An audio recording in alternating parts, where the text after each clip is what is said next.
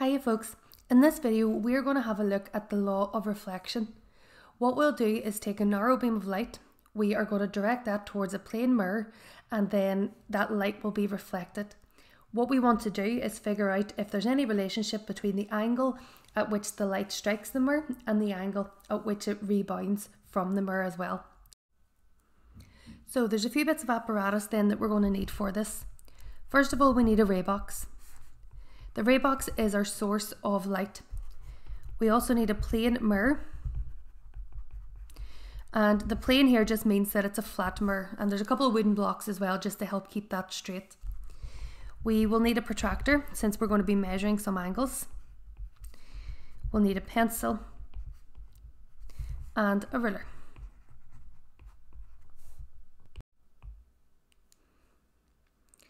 So the first thing we're going to do is we're going to take the plane mirror and we're going to set it on top of the page so that it's upright and I'm using the wooden blocks here in order to keep that um, keep that glass stable.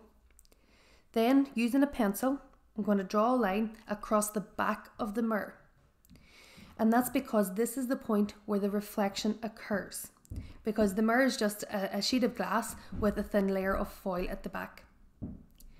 So we can then turn on the ray box and direct that narrow beam of light towards the mirror. And what will happen is the light will strike the mirror and then be reflected.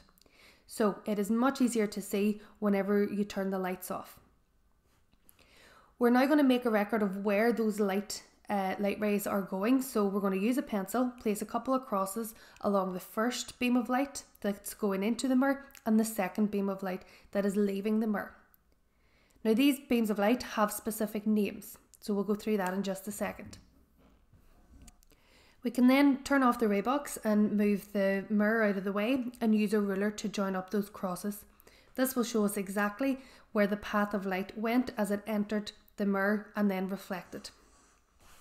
So this first ray of light that indicates where the light entered um, uh, and goes into the, the mirror, this is what we call the incident ray. So the incident ray refers to the ray of light that is entering the mirror. The second ray of light, where it leaves, is called the reflected ray.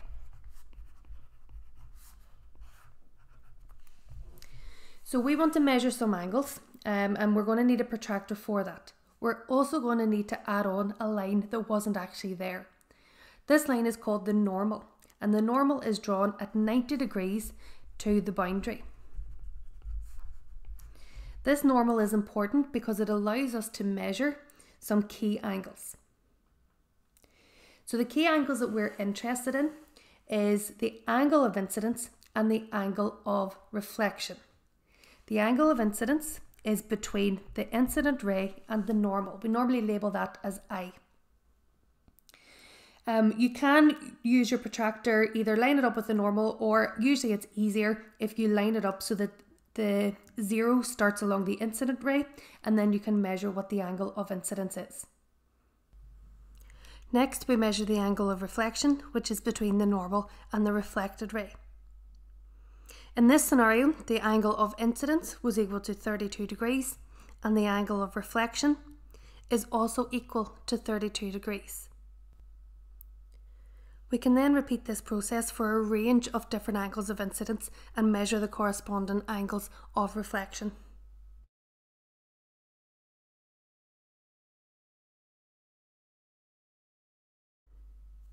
So what we find is that no matter what angle of incidence that we choose, the angle of reflection is always the same.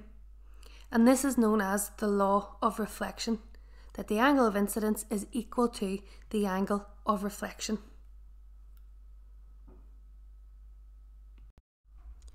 So to summarise some key points here, first of all we have our diagram.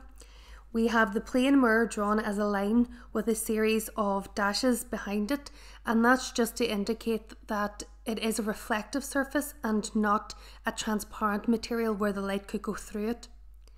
We have the normal which is drawn as a dashed line at 90 degrees to the boundary um, where that light is actually hitting the surface of the mirror. And then the line in red is indicating the incident rays and the reflected rays. The key angles that we have are the angle of incidence and the angle of reflection. Both of those angles are measured between the ray itself and the normal. The measurements that we take during this experiment are the angles of incidence and the angle of reflection, and both of those are measured using a protractor.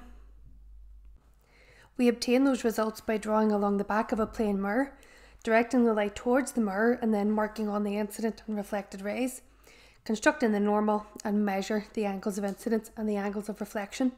We then repeat that process for multiple values of I what we find is that the angle of incidence is always equal to the angle of reflection, and we call this the law of reflection. I would advise you to pause the video at this point and make a copy of what's on the screen for your revision notes. I hope you find that helpful.